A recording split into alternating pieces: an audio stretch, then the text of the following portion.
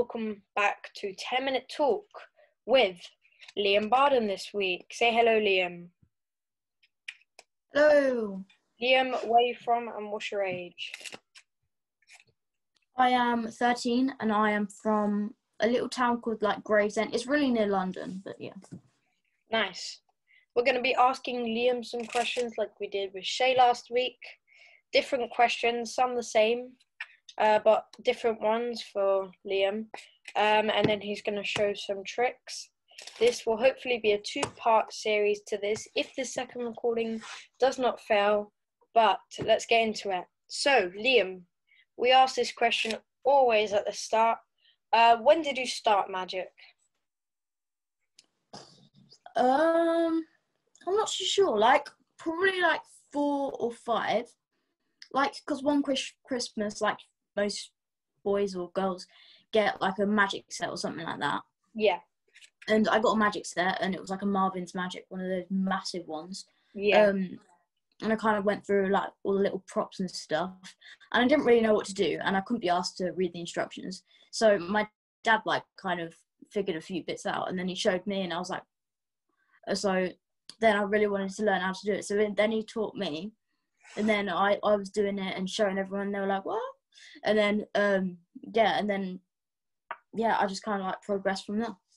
Yeah, a lot of people when they get their first magic set, if they started young, uh, usually learn a couple tricks, they like it, and then give up and go on to something else. But people who carry Yeah. on doing it are the ones who actually find a love for magic and they really want to commit to it. Being like, because I think it's the reaction that people, that the magician experiences from other people getting the good reaction that makes you Yeah, definitely. Yeah. Um, what types of magic do you perform? Well, um, I I do a lot of card magic. Um, I do a lot of card magic because I like kind of grew up doing card magic. Um, Yep. it's like in Marvin's magic sets that was like a big thing in it. Um, so I I grew up learning like all like Svengali routines and all things like that. And then I just kind of enjoyed card magic. I kind of like understand. I kind of understood cards and and I learned different techniques and stuff with cards. And then um, new card sleights and stuff like that. So I mainly do cards, and then sometimes I do like rubber bands. Um, I mostly do like close up kind of magic and uh, and a bit of stage. I do quite like stage magic. Um, Yeah, but it's just whether I can get the gig for stage. I've seen a lot of your magic, and you do do some um quite out of the ordinary stuff with um like just random stuff. Yeah, and I love I love putting a story to my magic. Um, because like on my social media, some of the stuff doesn't really have a story, and sometimes I'm just doing it to a camera.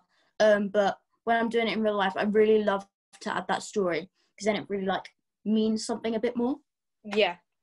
Um, if you could use one word to describe your magic style or you as a magician, what would it be?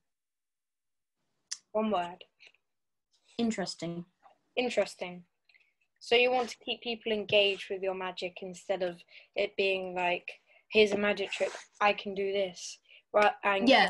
engaging them with an interesting topic. Yeah, because I think like the main part of magic isn't just the trick; it's more about how you present it and the story that goes with it, and what your like character and personality is. Yeah. Um, how do you share your magic? Um, mostly on like social media at the moment. Um, and then I love going out and doing gigs. Sometimes I just go out in the streets and show random people and stuff. Um, Yeah. Wherever I can show magic or get a gig, I'll go for it. Um, what social medias are you on? I'm on Instagram, Triller, TikTok, Facebook. I think that's everything. Oh, and on YouTube, but I barely barely post on YouTube. A lot. Uh, which one do you use most? Engage with your audience most? Definitely Instagram. Um, it's just the easiest one for me, I think. Um, and it's the one I've got the most like reaction and stuff from. Um, because I got like 2.5 million views on one of my videos on Instagram. So I'm really proud of that. Um, so I mainly just go on Instagram and post on Instagram and engage my audience and stuff on Instagram. But like, all the all of the other stuff, um, is kind of just uh, reposting stuff from my Instagram. How many followers do you have? Do you know? Like, On it Instagram, on Instagram, I have on Instagram I have two thousand nine hundred and fifty-four at the moment. I think. nice? Getting close to 3,000. Yeah. What's your goal for your followers? We're just going to see how it goes. Yeah, I, I, my goal, my big goal is 10 10,000. Um, Yep. Uh, yeah, my goal is to like be up there with like Luca Goldman and and maybe Dan Rods and yeah, all of those big, yeah, Joel and all of those big um magicians on like TikTok and Instagram and stuff like that. Yeah. Um, what got you started with social media? So, what got you into it? That's a very good question, actually. So, I never really thought about doing magic on social media and stuff. Um, but uh, when lockdown started and things, uh, I didn't really have much places to do magic and stuff like that. But it didn't start just because of lockdown. It started actually because of a competition I entered. It was like a Vanishing Inc competition, and to win a book. Um, I entered this, and I had to do a magic trick with an egg so I did this. It's still on my um, Instagram. If you scroll all the way down, it's there.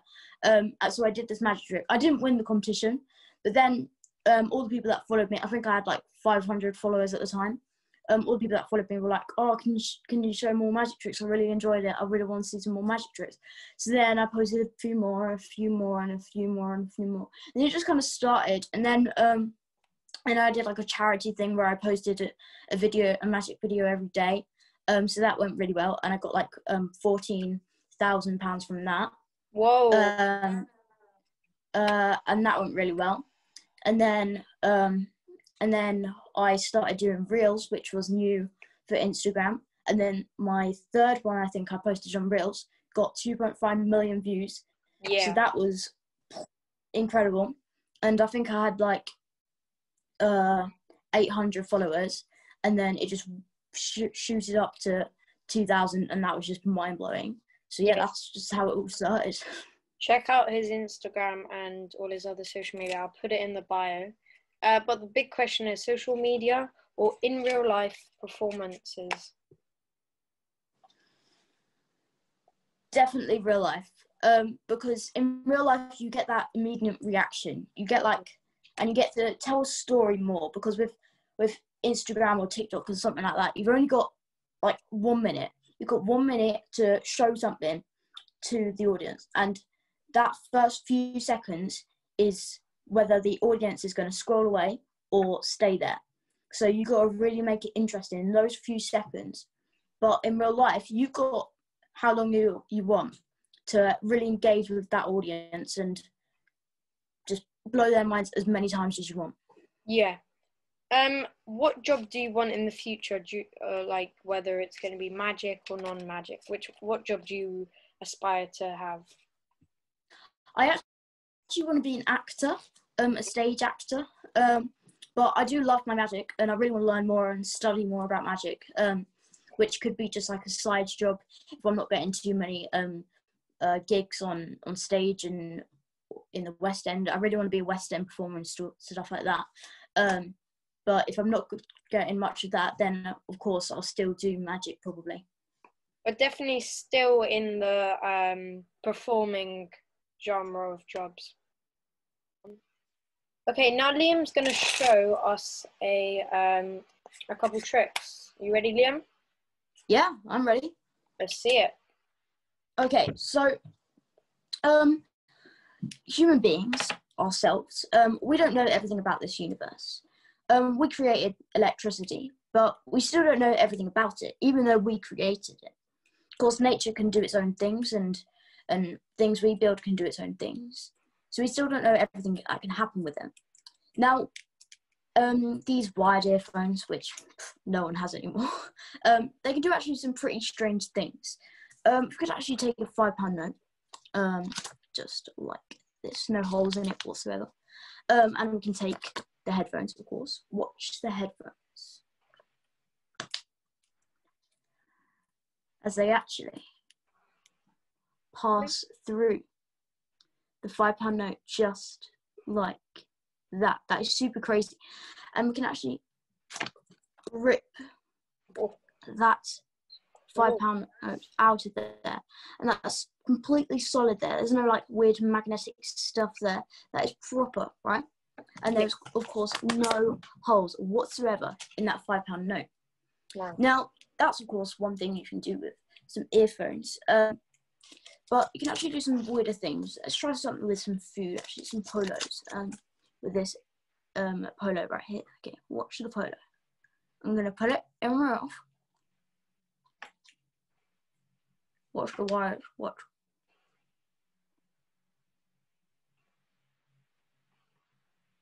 And Nice. just like that, oh, the polo leaped wow. right onto the wire. Just like that. That is so cool. Thank you. All right, I think that is going to No wrap problem. it up for this uh, uh, part. Uh, Yeah. Hopefully, we'll see you next week for uh, part two. Um, thanks for watching, everyone. Make sure to check out Liam on social media Facebook, Instagram, everything. We'll put his details in the bio. Uh, make sure you subscribe so you can see Liam's next one. Press the bell, and then you'll be able to see when uh, I upload the next one. All right. Thanks for watching. Bye.